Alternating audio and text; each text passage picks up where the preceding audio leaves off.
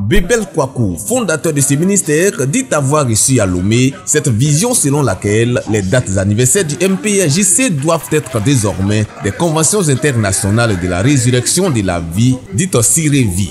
La première édition s'est donc tenue du vendredi au dimanche dernier dans le cadre du 9e anniversaire du MPRJC. Puisque le ministère auquel Dieu m'a appelé, c'est un ministère de résurrection. Donc Dieu m'a mis en cœur d'organiser une telle convention pour réunir les fils de Dieu, pour les impacter par la grâce qui se trouve dans la résurrection de Jésus-Christ. Pendant ces trois jours de convention, l'orateur principal a développé tout son message autour de la résurrection, thème en rapport avec la vie. Au travers de l'enseignement et de cette convention, il fallait amener l'Église à comprendre que le Dieu que nous servons est le Dieu qui nous emmène à la résurrection. Convaincus de la véracité des visions de leur père spirituel, les fidèles ont salué la Vie dont la première édition s'est achevée ce dimanche 15 mars par un culte prophétique à l'occasion du 9e anniversaire. Vraiment, notre père a eu une vision d'esprit d'implanter ce, ce programme. Vraiment, à l'issue de ce programme, nous avons vachement été bénis et Dieu s'est vraiment manifesté. J'apprécie tout ce qui se passe parce que c'est un homme de vision, un homme, un homme de prière, de foi et il nous a inculqué cela.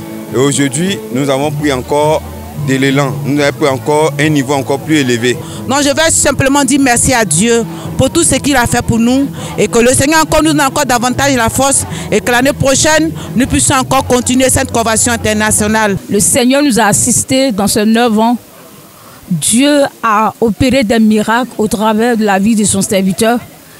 Et le ministère qui est la résurrection, vraiment, la vie a caractérisé ce peuple de Dieu depuis ces années. Le culte de ce 15 mars, dernier jour de la première Siré Vie, a vu la participation d'éminents hommes de Dieu du mouvement Père et Fils en guise de soutien à un de leurs, le prophète Bébel Kwaku. Et moi, en tant que président du mouvement Père et Fils aussi, nos enfants spirituels aussi ont été un appui pour rendre ce moment agréable.